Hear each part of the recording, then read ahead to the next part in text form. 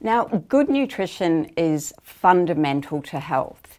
And in fact, many, many years ago, the wonderful ancient Greek physician Hippocrates coined the, the phrase, let food be thy medicine and medicine be thy food. And, you know, he was an incredible character, really, because amongst, you know, the many people at that time who still believed that illness was. Um, it was like the wrath of the gods. It was a superstitious belief that you became unwell if you'd done something wrong.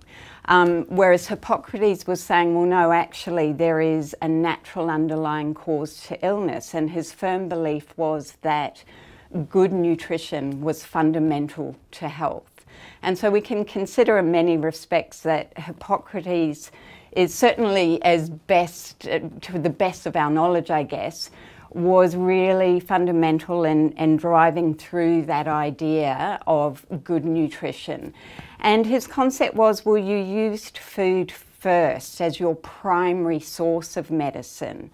And it was only after that point that you considered other strategies. So it might be herbs, but any sort of medical intervention as being the final choice of healing.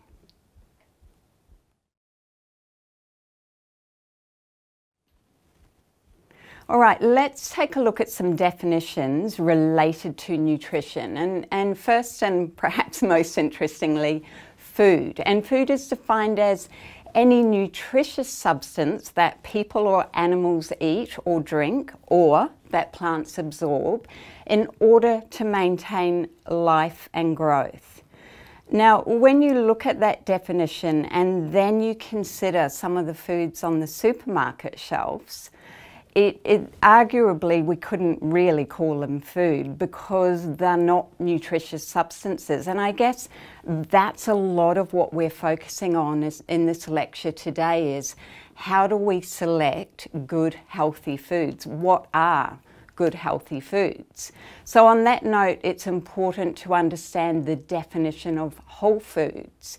So they're foods that have not been processed or refined and are free of additives and other artificial substances. And you know, ideally, it's whole foods that should be comprising our diet.